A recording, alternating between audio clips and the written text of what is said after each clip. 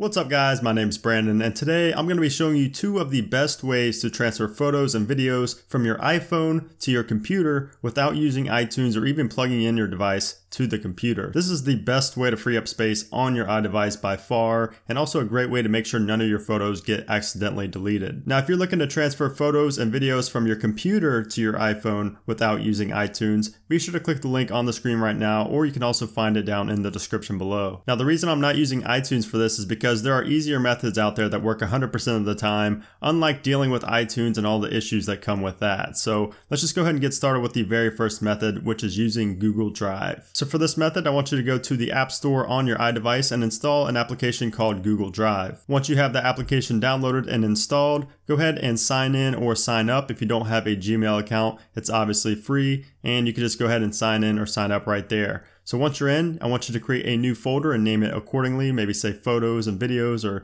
photos 2016 or something like that, something that you will remember. Then you're gonna go ahead and click on the little plus icon down here, go to upload, photos and videos, and then you're gonna choose the photos by clicking on them and then clicking upload. Now depending on your internet speed and the amount of photos and videos you upload to Google Drive, it could take a good amount of time, so just be patient. But the good thing is that these files update in real time, so you don't have to refresh on Google Drive on your computer to see the files that have already uploaded. So to see that, go to your computer and navigate to drive.google.com and sign in with the same account that you are signed into on your iPhone. Once you're there, go to the folder you just created, and then you can just select the pictures and videos and save it to your desktop or folder or wherever you want to save it on your computer. Now Google does give you 15 gigabytes of free storage, which should be enough for most people, especially if you delete things periodically. But if not, they do have monthly plans starting at $1.99 for 100 gigabytes and all the way up to 30 terabytes for $300 a month. Now this Google Drive method serves multiple purposes because not only can you transfer and view these photos whenever you want, but they're also permanently saved to the cloud.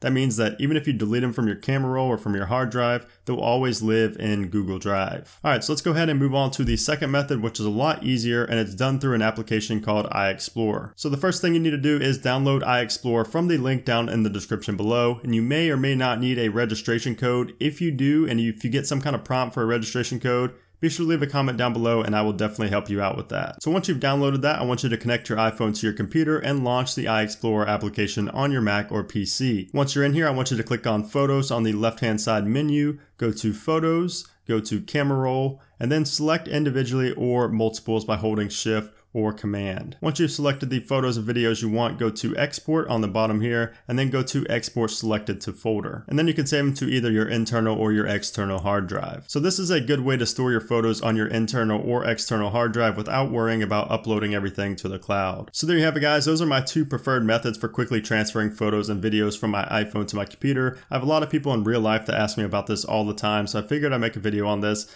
and you know, I think it will help some people out. It's pretty basic, you know, especially for my viewer base, but I really think that this will help some people out. So I definitely wanted to make a video on that. So I hope you enjoyed. And if you did, be sure to give this video a thumbs up and also make sure to subscribe for more cool iPhone tricks, reviews, news, and so much more. So thanks again for watching guys, and I'll see you soon.